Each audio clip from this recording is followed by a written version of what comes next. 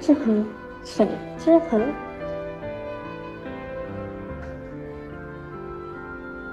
我真是欠了你的。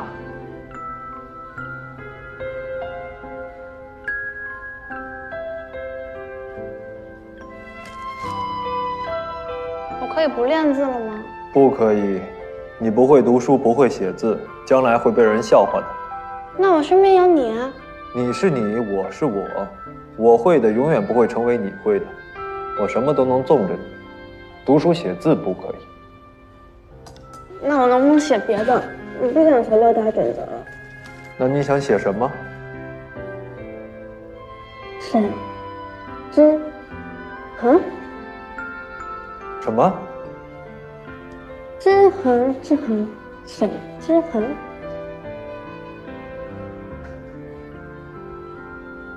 我真是欠了你的。大哥，我又来找你帮忙了。唉，我真是欠了你们的。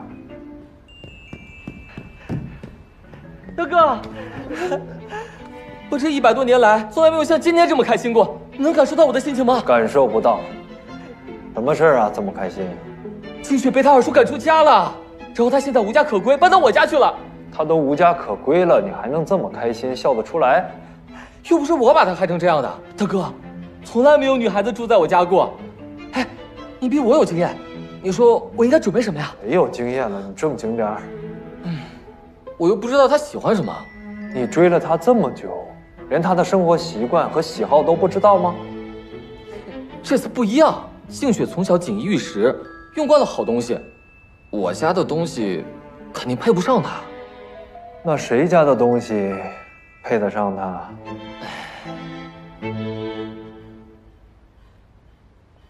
威廉的意思是，他要钱。我知道。你继续写字。嗯。我带你去拿支票。嗯，好。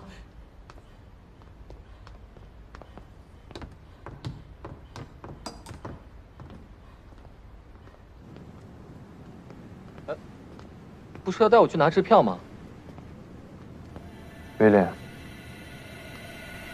血泊石的能量一旦发生转换，我就会越来越虚弱，就像当初你的母亲一样。威廉，日后替我好好照顾你了。